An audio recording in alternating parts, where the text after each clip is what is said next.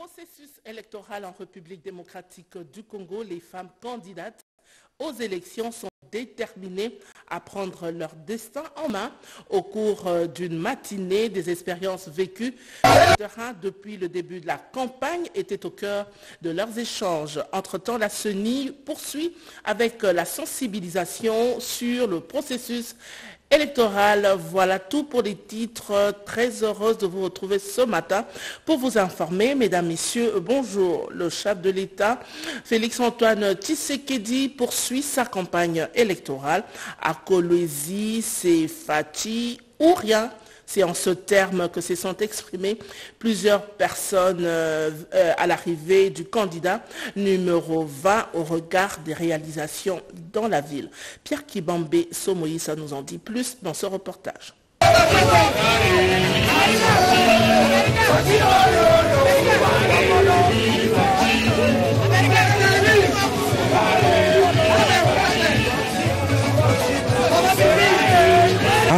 Lubumbashi, Likasi dans les Hauts-Katanga, voici Kolwezi, chef-lieu de la province du Lualaba. Un franc succès, le carton plein comme partout sur l'itinéraire de la campagne électorale du candidat numéro 20. Kolwezi n'est pas un reste dans la forte mobilisation de la population pour accueillir chaleureusement le champion.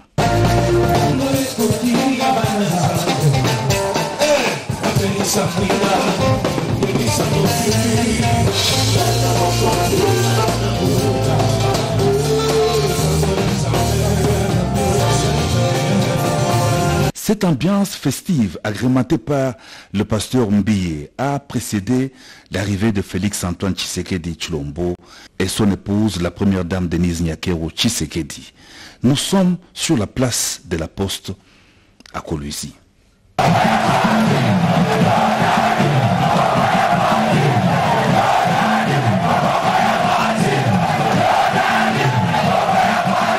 C'est à l'unisson que la population et Madame le gouverneur intérimaire Fifi Masuka Saini, membre de l'Union sacrée, souhaitent la bienvenue au candidat numéro 20 à la prochaine élection présidentielle.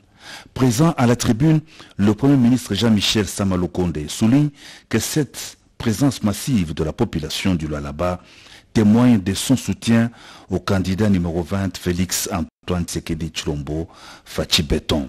Et si c'est Fachi ou rien, indique-t-il, avant d'inviter le candidat numéro 20 à s'adresser à ses nombreux électeurs. Félix Antoine Tshisekedi Chulombo sollicite d'entrée de jeu la confiance des Loalabaises et Loalabais pour parachever l'œuvre grandiose entreprise ensemble. Est-ce que je peux compter sur vous le 20 décembre? Est-ce que Boyebi numéro Oyo Boko voté? Quel est le numéro? Numéro combien? Numéro combien? Boyebi Yango. Je compte donc sur vous, Batoto. Je compte sur vous, Batoto ya Lualaba. Merci.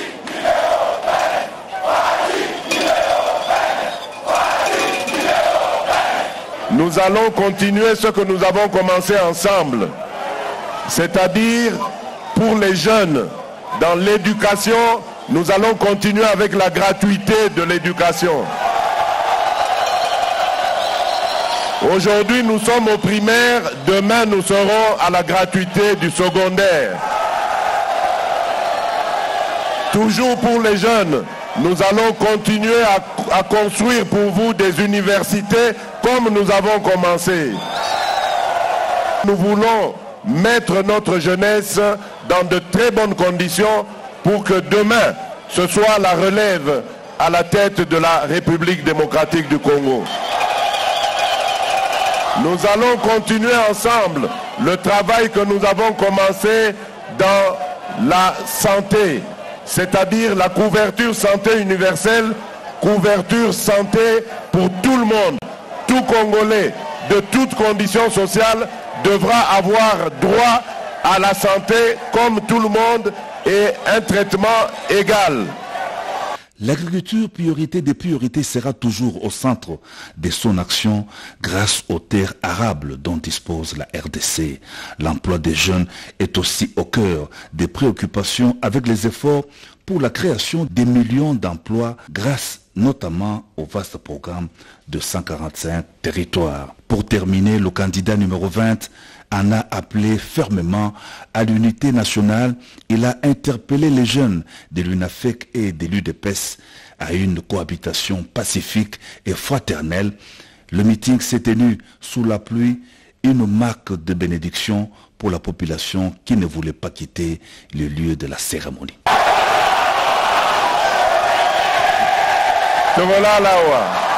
Mbula ebetebeta te tokolala awa.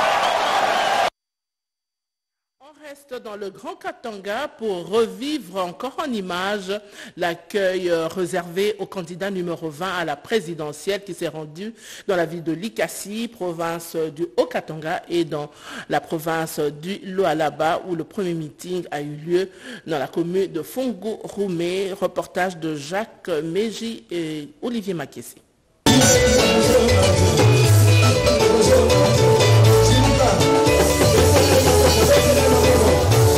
Dans la province du Haut-Katanga, après la ville de Lubumbashi, le président de la République, candidat à sa propre succession, Félix-Antoine Tshisekedi Chilombo s'est rendu dans la ville de Likasi. C'est à la place de la Poste, où l'attendait une marée humaine qui lui a réservé un accueil délirant.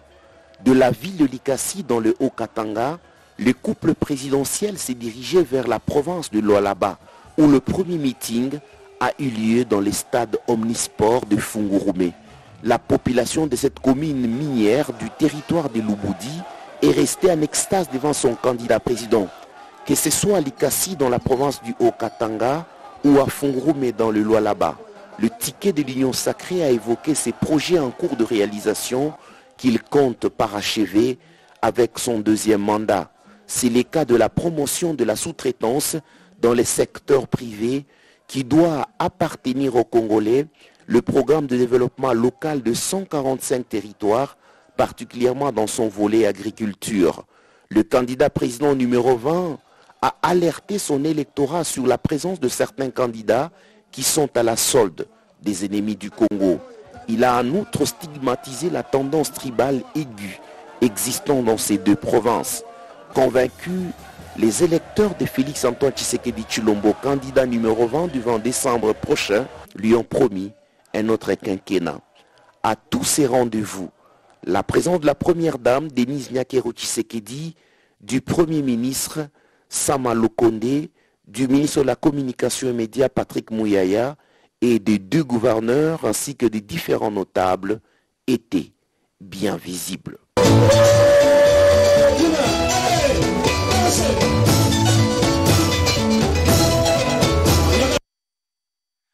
Contre la montre en cette période électorale pour le candidat numéro 21. Martin Fayoulou Madidi a débuté sa campagne dans l'espace Grand Équateur face à la population. Le candidat numéro 21 promet d'apporter des solutions aux problèmes sociaux professionnels une fois élu. Fifi Mokundi, reportage. Un chronogramme de la campagne non seulement établi, mais aussi respecté par Martin Fayoulou, candidat numéro 21. Martin Fayoulou Madidi a entamé la troisième étape de sa tournée électorale. C'est par la ville de Mandaka, chef-lieu de la province de l'Équateur, qu'il affronte le peuple de cette partie.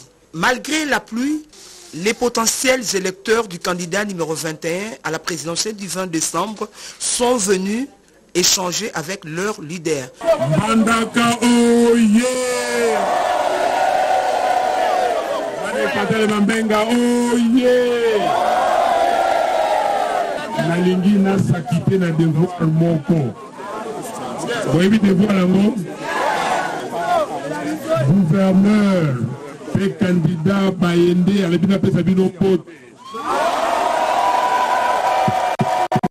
Du haut de la tribune, les jeunes et parents se sont succédés pour soumettre leurs préoccupations au candidat président.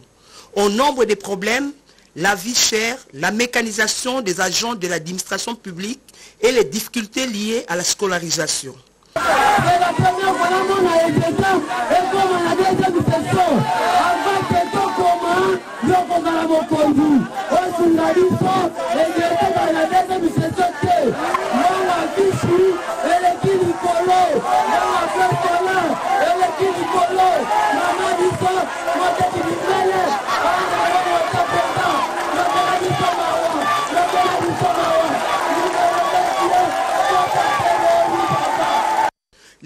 Les candidats de l'opposition sous la belle Lamouka Fayoulou a par ailleurs refuté les fausses accusations portées sur sa personne. Pour lui, ce sont les adversaires en perte de vitesse.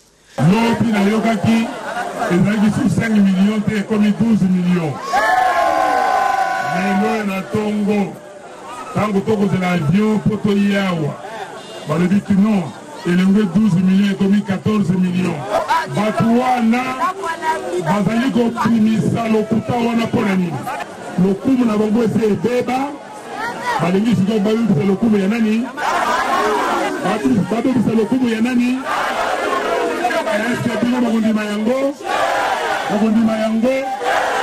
Après Mbandaka, Martin Faoulou, en lice pour la présidentielle, va poursuivre son exercice des charmes en faveur du numéro 21, Alisala, Bumba, Boende et Bikoro, les entités de l'espace Grand Équateur.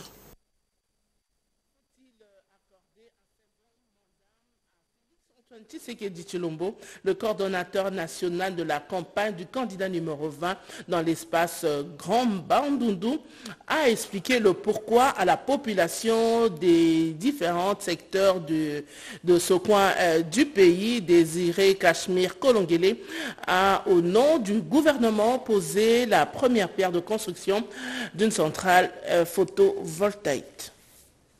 Après l'étape de la cité de Boulungu, chef-lieu du territoire qui porte le même nom, le ministre du numérique, le professeur Désiré Kachmi Kolongele Eberand, candidat numéro 326 à la députation nationale à Boulungu, en sa qualité de membre de la coordination nationale de la campagne électorale du candidat numéro 20, Félix Antoine Tshisekedi Chilombo, est arrivé à la commune rurale de Vanga et une mission protestante de grande renommée où il a été chaleureusement accueilli par les bourgmestres et les chefs traditionnels avant de s'offrir un bain de foule.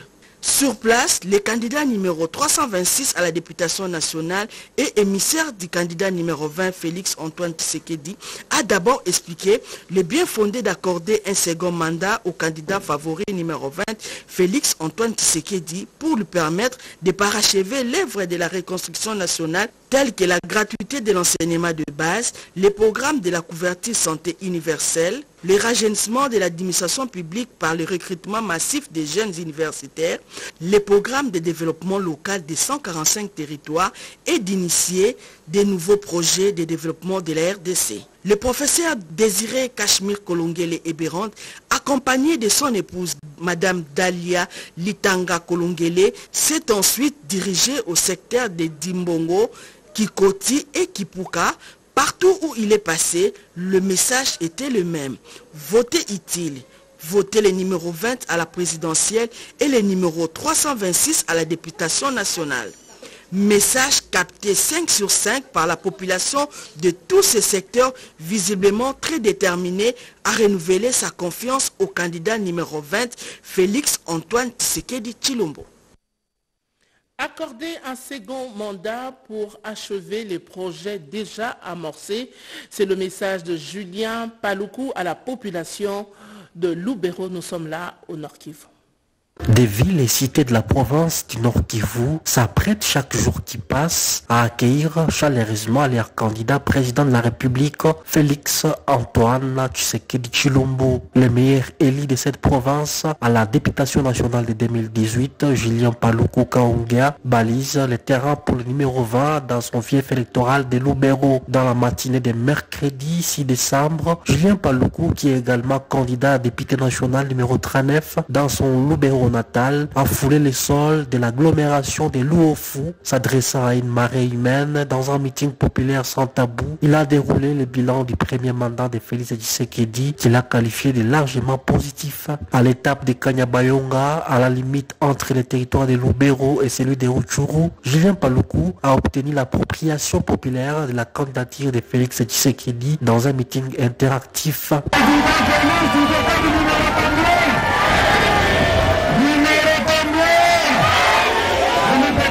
Le marathon du jour s'est achevé dans la cité de Kaina qui a confirmé la complicité entre Julien Paloukou et ses électeurs de Lubero. Ces derniers ont rassuré leurs leaders de leur détermination à offrir à Félix Tshisekedi un second mandat pour le parachèvement des différents chantiers lancés au pays dans divers domaines.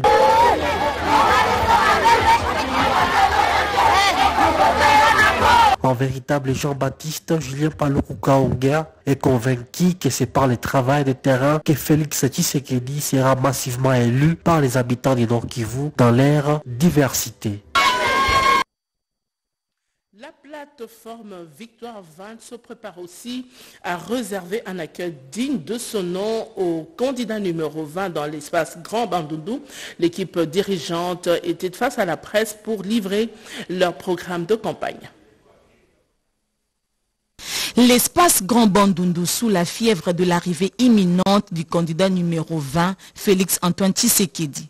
La ville d'Ekikwit promet un carton plein pour l'actuel président de la République et donne déjà des signaux positifs sur ce qui ressemble déjà à une communion festive. Pour baliser le chemin, la plateforme Victoire 20, l'un des maillons de l'équipe de campagne du candidat numéro 20, coordonné par Betty Pitilo et Jonathan Daiwell, plante les décors en annonçant dans les détails les déroulés du programme devant la presse, en présence des artistes notables du Grand Bandundu, à savoir Ngiama Makanda Weranson, Redi Amissi et les artistes et comédiens.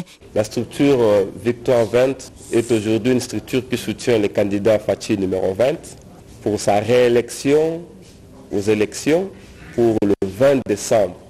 C'est pourquoi nous sommes réunis, parce que nous allons faire une descente à Kipuiti le 15 décembre pour un meeting, un carnaval motorisé. Et la suite, ça serait à Kinshasa pour clôturer la campagne du candidat numéro 20. Une marche a été organisée par V20 qui sera à partir de, 10 h qui commencera par euh, la commune de Bandalunga vers le rond-point Mola jusqu'au rond-point Forestcom, le 18 décembre pour la clôture de la campagne des candidats numéro 20. Nous appelons tous les Quinois et les Quinoises de participer à cette grande manifestation qui est prévue pour le 18 décembre à Kinshasa. Une série d'activités est prévue à Kinshasa, tout comme dans l'espace Grand Bandundu, notamment une caravane motorisée et une marche de soutien. Les tout couronnés par des chansons de campagne pour les candidats numéro 20, avec comme tête d'affiche Redi Amissi, Weranson, Didier Lacoste et Patti Santa. Nana Manouanina, ministre près le président de la République, s'est aussi lancé dans la campagne du chef de l'État dans l'espace Grand Bandundu. Elle a choisi de rester dans cette partie du territoire national, l'espace Grand Bandundu, pour jouer le rôle de canal par excellence afin de transmettre fidèlement les messages des candidats numéro 20, Félix Antoine Tshisekedi Chulombo, aux habitants de Massimanimba et Massamuna dans le Kwilu. À l'étape de Massamuna, Nana Manonina Kyumba, cordon territorial de la structure de la campagne du chef de l'État dans le Grand Bandundu, a dans une dialectique qui lui est propre la fidélité et loyauté au candidat numéro 20, Félix Antoine Tshisekedi Chulombo. Rinquéqué comme jamais, la fille du terroir a appelé la population de Massamuna à la culture des valeurs morales et à suivre les modèles, du moins les valeurs de paix que incarnent les grands de la nation, les candidats numéro 20. Une mobilisation à la racine, une illustration parfaite de la gestion des proximités que la population vient de faire montre à Massamuna. La vigilance, il en a été question, surtout pendant cette période de campagne électorale. Manonina Kumbanana a félicité la population. Elle leur a à la campagne des porte-à-porte comme elle le fait elle-même afin que Massamuna soit totalement acquise à l'idéologie du chef de l'État, le candidat numéro 20. À une caravane motorisée a été organisée.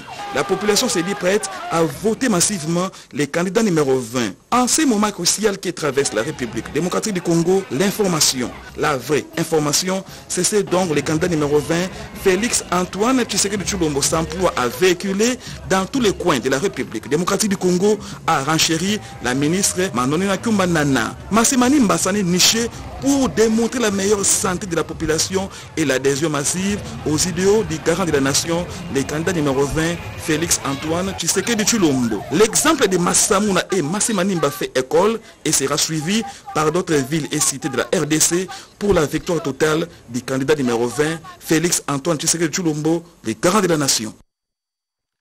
Comment battre campagne et gagner Eh bien, un échantillon des femmes candidates aux élections vient de suivre la formation sur la préparation des élections.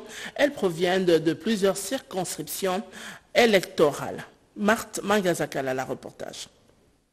Pendant ces journées d'échange qui ont eu pour cadre la maison des leadership féminins, les femmes candidates des différentes circonscriptions électorales ainsi que celles des provinces ont fait la restitution quant à la mise en pratique de toutes les formations apprises, c'est-à-dire comment se préparer pour les élections, comment agir dans ces contextes politiques actuels, la sécurité de la femme pendant ces périodes électorales et comment peut-elle mener une bonne campagne pour renverser la tendance afin qu'il y ait une grande participation des femmes aux élections et avoir plus de femmes au Parlement. L'occasion était ainsi offerte aux candidates de raconter leurs expériences de terrain. Je suis membre d'INAFEC. C'est une plateforme qui regroupe en son sein différentes femmes candidates. Aujourd'hui, nous sommes alignés. Aujourd'hui, nous combattons, nous nous battons, nous parlons pour que la femme aille au devant de la scène. Les femmes, arrêtez de rester au derrière. Sortez, parlez pour votre cause. Demandez, battons-nous.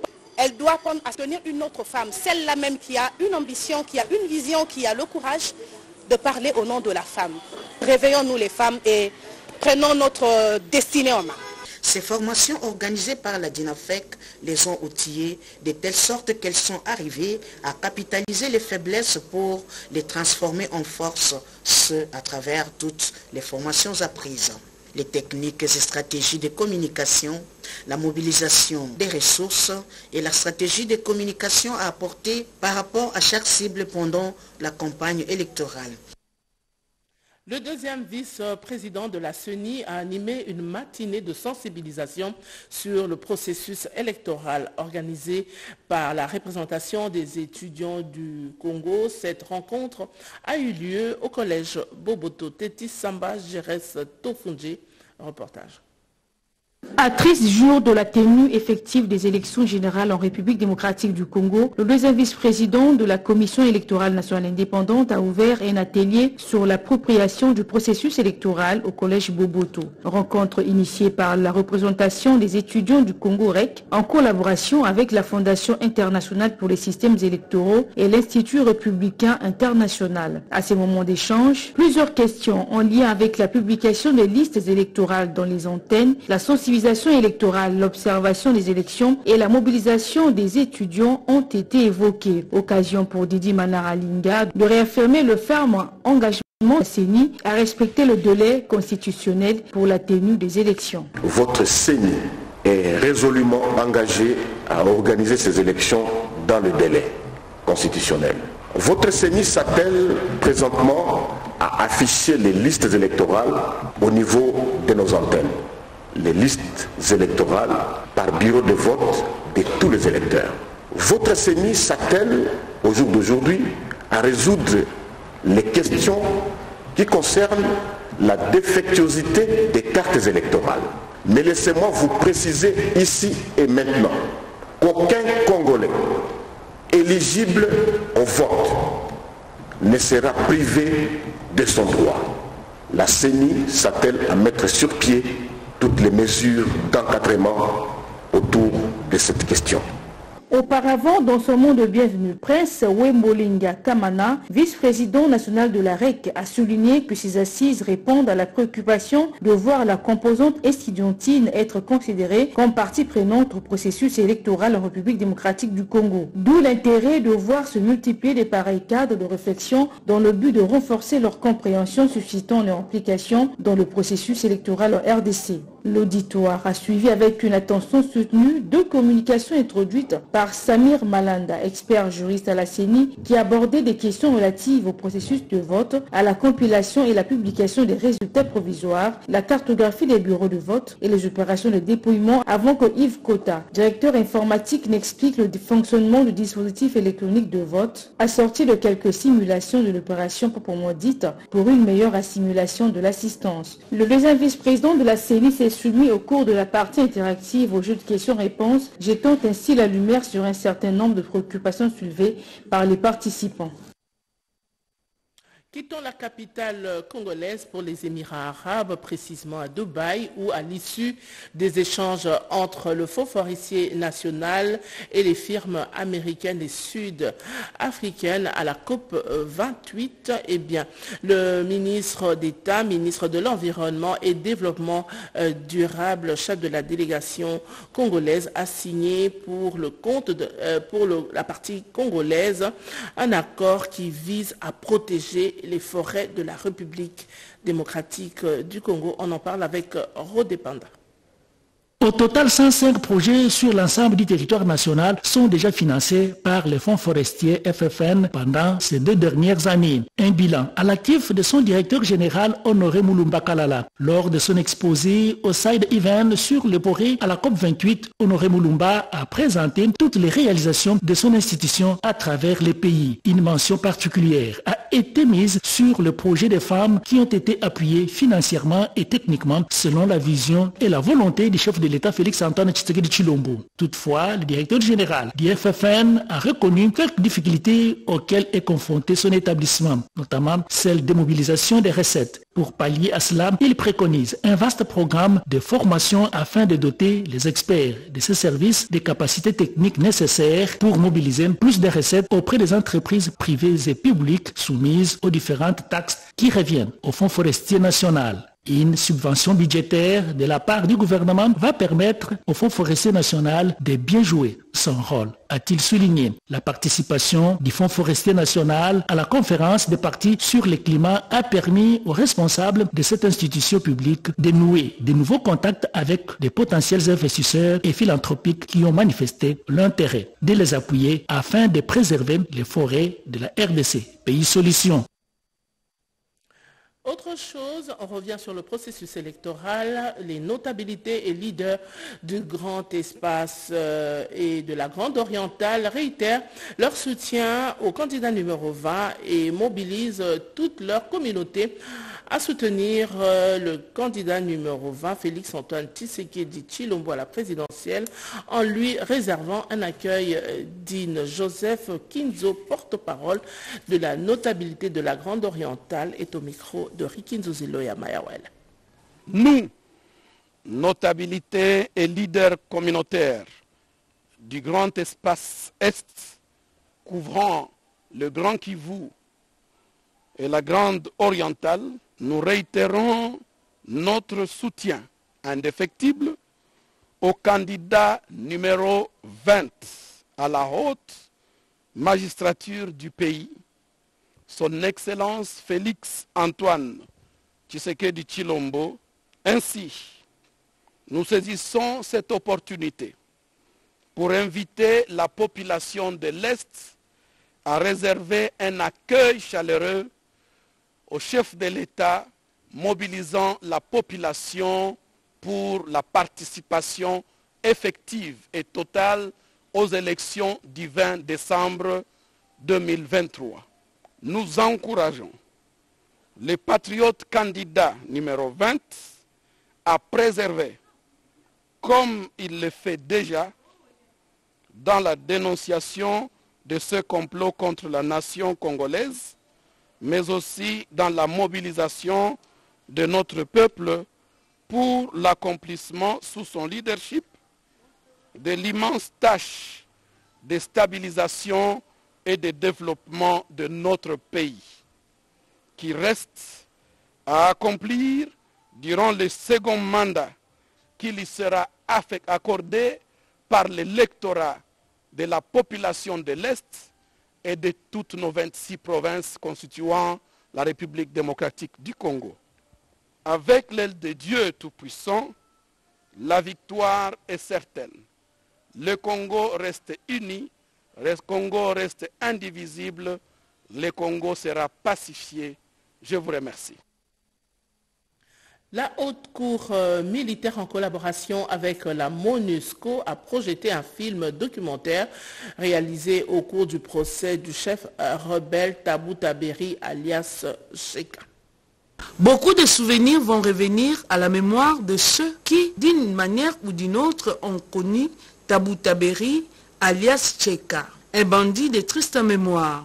Consacré à un documentaire sur son parcours répond à un objectif purement pédagogique pour éviter à la jeunesse de s'inspirer de ces mauvais modèles. Cheka est responsable de beaucoup de méfaits avec son groupe avant d'être arrêté en 2017, jugé et condamné en 2020. C'est un, documentaire anonyme qui concerne euh, Cheka et les juges.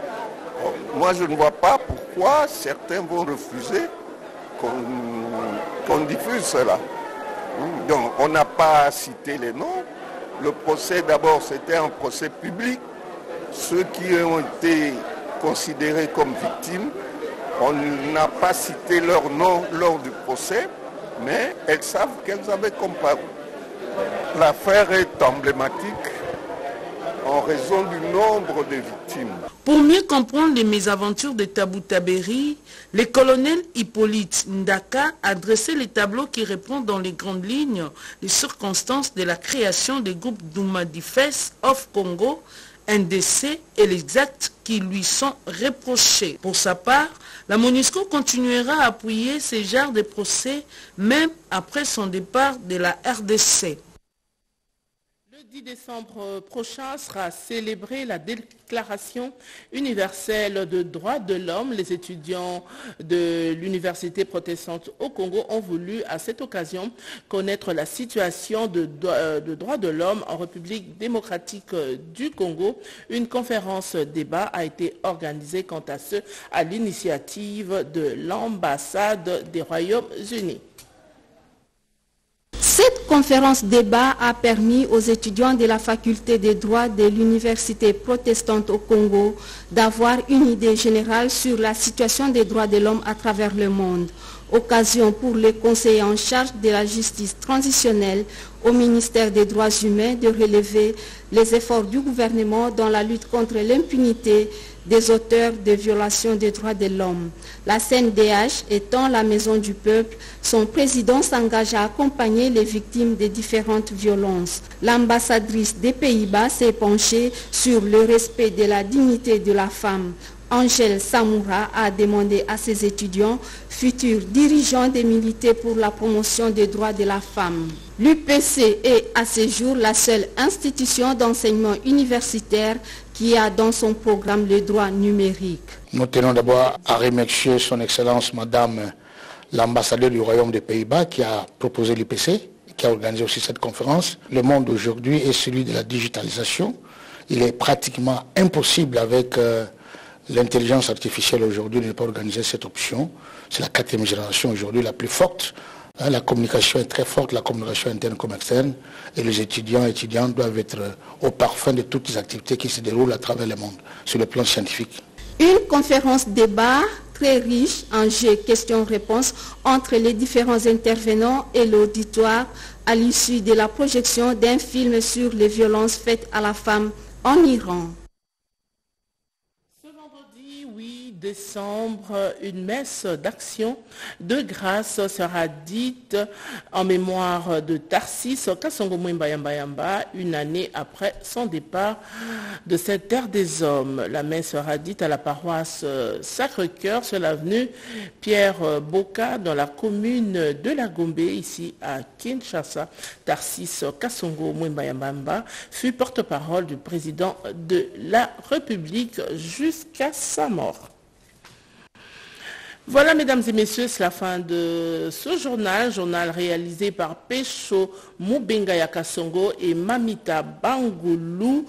Guila Mokoko, Henri Alimasi, Émile Zola, Alain Ngalia ont assuré la partie technique au nom de tous ces héros dans l'ombre. Je vous dis merci de nous avoir suivis.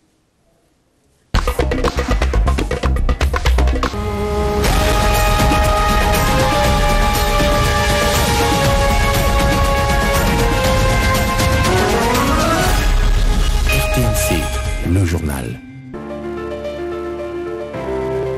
Chers frères et sœurs congolais, où que vous soyez, le mot d'ordre aujourd'hui, avec ces débuts de campagne, c'est le candidat numéro 20. Tous voter le candidat numéro 20. Bana Congo, Bana Mboka, candidat Nabiso, Tozanae, Moko, candidat numéro 20. Les amis des États-Unis, du Canada, de la Belgique, la France et l'Afrique du Sud, votez tous pour le candidat numéro 20, j'ai cité Félix Antoine Tshisekedi Chilombo. Parce que c'est celui qui vaut la peine, c'est celui qui nous a amenés là où nous sommes aujourd'hui, c'est celui qui porte la renaissance de notre pays. Et nous voulons que tous ensemble, nous puissions le porter pour qu'il puisse consolider ce qu'il a déjà commencé avec nous et que tous ensemble, nous puissions l'accompagner dans la réalisation de tout ce que le pays a besoin pour que le bien-être puisse être une réalité pour tous.